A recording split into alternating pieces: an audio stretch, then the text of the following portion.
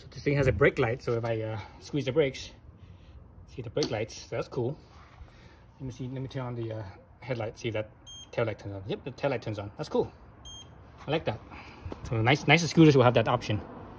So I'm gonna adjust the brakes here a little bit. I'm gonna take up some slop. I think it's a little bit. Uh, I think it's a little sloppy. Um,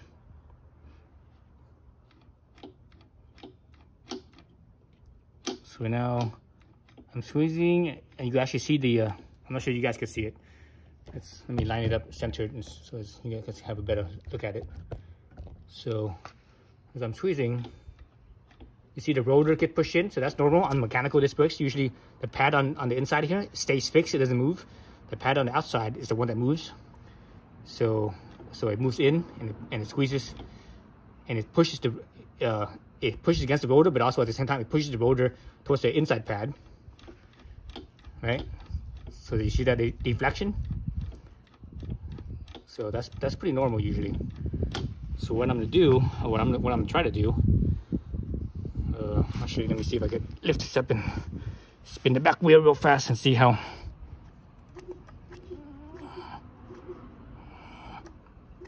So there's no squeaking, so that means it's not touching, so that's good. It's not touching uh, either side, so that's good. But what I think I'm gonna do is I am going to adjust it so that way adjust it loosen these two up and adjust it outwards a little bit just a tiny bit just enough that um, that it, it moves less. So the rotor gets pushed less.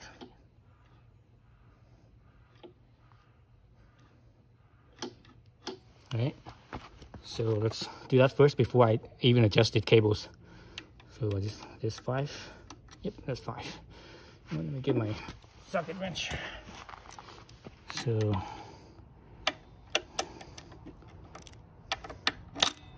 so yeah, so this the setup is just like you know, it's just like mechanical uh, mechanical disc brakes on a bicycle.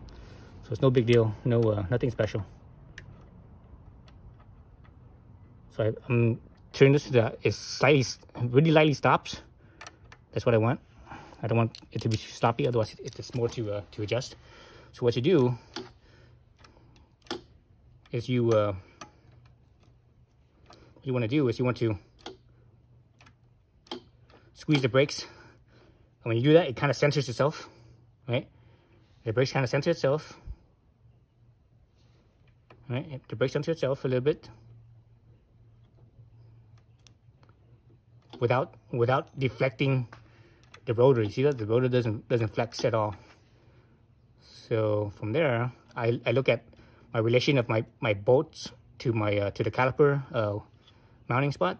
So I'm gonna release the brakes a little bit.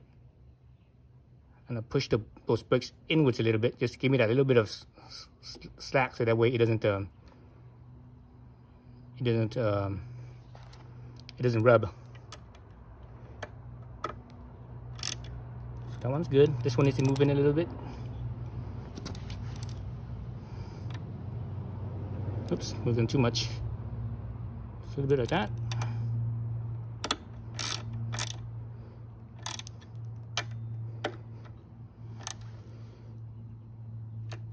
You notice that I'm I'm tightening this. I'm holding it right here. I'm not holding it all the way back here. If you hold it all the way to the back right here, it's too too much leverage, and it's gonna it's gonna um, strip the strip the threads. Okay, I think I'm good there. Let's see.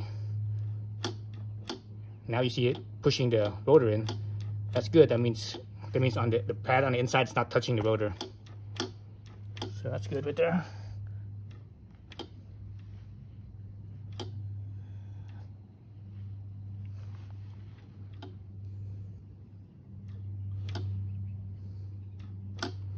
Let's see, let's lift this up again and see how it feels.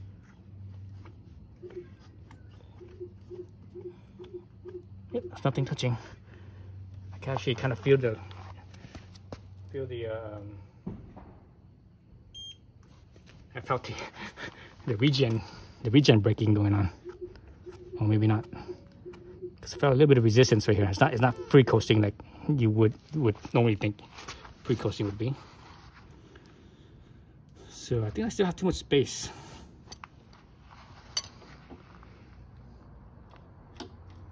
My rotor's like pushing too much, I think.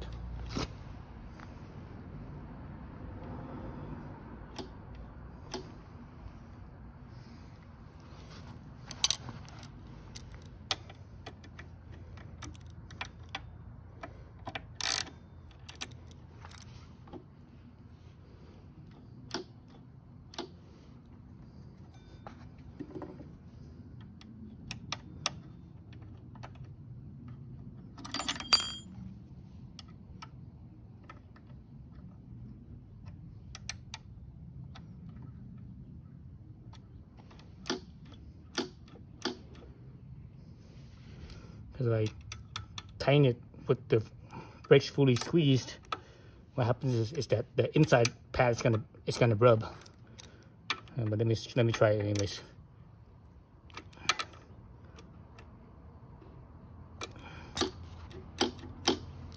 All right, I see the pad touching right there. Let's see, let's lift this up. Hear that? It's actually not that bad. It's not that bad.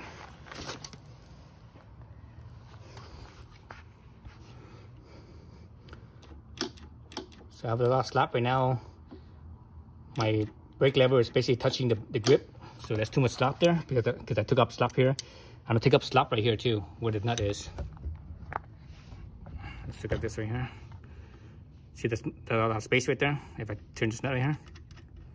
So this right here, this is where adjust the, uh, you make this adjustment adjustment when the uh, the brake pads wear, and you would just uh, take up the slack. As it wears, there's more slack. So this thing's all the slack's already taken up. So I'm gonna I'm gonna give it give it back more slack, and I'm gonna take up the uh, the wire instead. Okay, let's get there.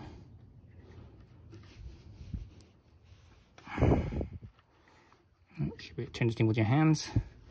It's kind of tight because the tension of the cable. See now there's all this thread showing, so that's what you want. So now there's even more slop. There's even more slop there.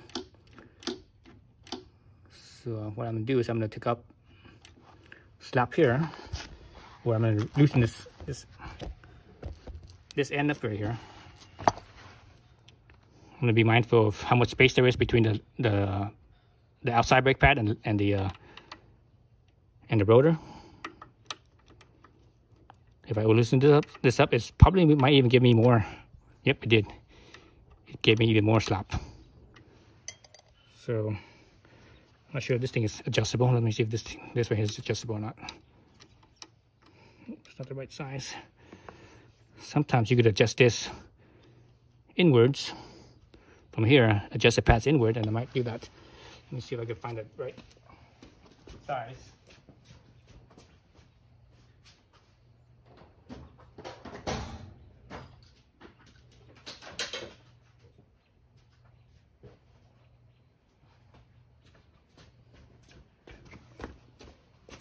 So these here are five millimeters. This one here, I think it's four. Yep, it's four millimeter. Let me see if I can actually adjust this again. I'm not sure if it's going to work or not. Nope. Oh, wait a minute. Feel something. Let's see. It's tightening, but I'm not sure if it's tightening or, or it's turning in. No, I think it's just tightening, tightening. Okay. So now I could actually use this to actually torque this. So this how this thing, this thing, um, pull this way or that way, right?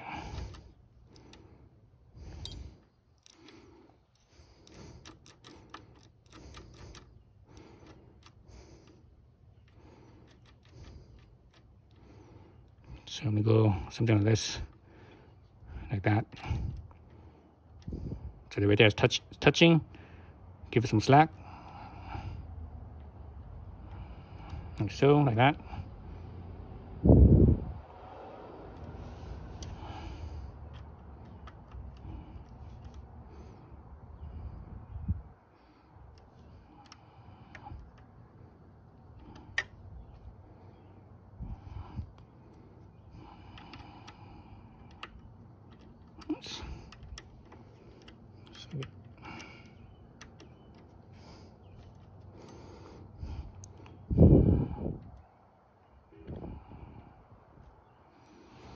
We could hold this. Each time I I let go of the cable, the cable actually wants to feed back in, so it's, it's not uh, it's not uh, giving the slack that I want. Let's see if I can hold it with with the cable instead.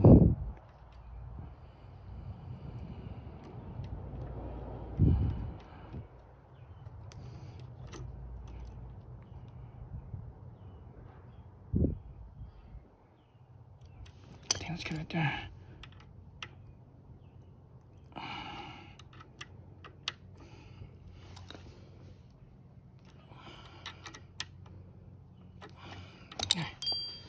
See, this. Okay, that feels much better. Feels pretty firm actually. It feels like maybe too firm. But anyways, I'm gonna test it out and see how it feels. Well, that's how you adjust it. All right, so uh, I just finished adjusting the brakes. It feels good right now. Oh my god.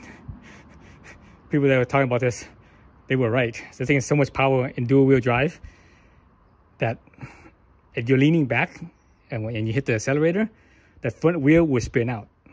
So you have to actually, when you when you when you uh, hit the accelerator, you have to lean forward so the front wheel doesn't spin out. And when you're braking, you have to lean back. If you're leaning forward, you might go over the handlebars. The the regen brake on this comes on so strong that that it actually you know, it shifts your weight forward. It's pretty strong, even before the mechanical brakes turn on. So, uh, so actually that's kind of the reason why I got this thing. Cause I think, uh, they said that, you know, Hoover one said that, that, um, in the next, in the next batch, they can adjust the regen brake to make it a little weaker and, you know, to not, not be as strong. I didn't want that. I want, I wanted regen brake to be really strong.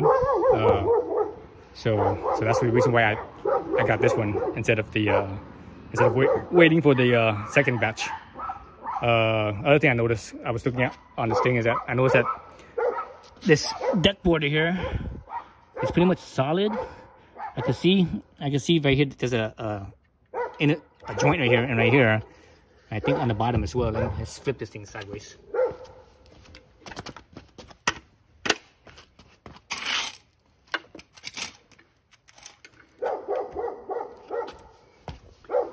yeah so this the bottom deck is all one one piece it's all welded one piece i was looking at the back here as well this is all welded as well so so because some scooters you can you can slip the battery out if you take out the back wheel and you slip it out outwards but this one you can't because it's welded. So all, all the bottoms all welded. I see a screw right here and a screw right here. So that tells me that to, to get to the battery you have to take off the uh, the, the the deck tape on the top. Um,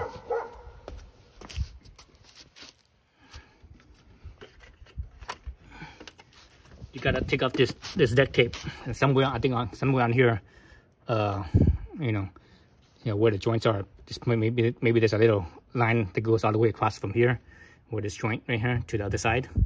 And same thing with the back. So that's probably where you could you could uh if you take this this off you could unscrew this and, and get access to the um get access to the um the uh, the battery. So so it's not a simple thing you know uh, taking this off and this thing this thing's glued on. So, but the reality is, is I think I think something, especially something like this with a, such a big battery, by the time that you need to replace the battery, most likely the rest of the scooter is just so worn out that it's not worth it. It's better just to get get another scooter basically. Uh, so one thing that I don't like is they didn't give you a um, look at the stuff. I was going through the stuff here. But they didn't give you they didn't give you the uh, the little adapter for the pump for the the uh, the Schrader valve, right? This is the automotive valve here. And the thing is, it's so the space in here is so small that you can't get you can't get a pump on you know a regular pump like a bicycle head pump head on here because there's no space. That's that's the problem with all these scooters. That this oops, there's no space here for for like a pump to hit on and uh, I don't even think I could get my um, I don't even think I could get my uh, my chuck my uh, air compressor chuck on here. Let's see, where's that chuck at? Let me grab the chuck real fast. Yeah, I don't even think I could get this on here. yeah, the, yeah, it won't even go on. Yeah, it won't even go on. It's just there's no there's not not enough space here. Nope, it's not enough space here. I mean, on on my other scooters, on my GOTRAX and everything else, I actually took the wheel apart and actually uh, I took a deburring tool and deburred this, so basically a chamfer tool to to open this up so it's bigger, so I could get that get this air chuck on here. So I'm probably gonna have to do this with this this one too, because uh you know there's there's no adapter, and I don't like I don't like that adapter anyways. The adapter doesn't work very well, at least in my opinion, it doesn't work very well. Um, so these are just the, the regular. Uh, I think the eight and a half inch diameter, but the actual um, the actual rim width is uh, or not width but diameter is 6.1. So it's right here. It says 50 over 75. That's the width. Width uh, and height, and the 6.1 is the size of the uh, the rim. Uh, not the outside diameter, but the inside, you know, the rim, the rim itself, not the tire.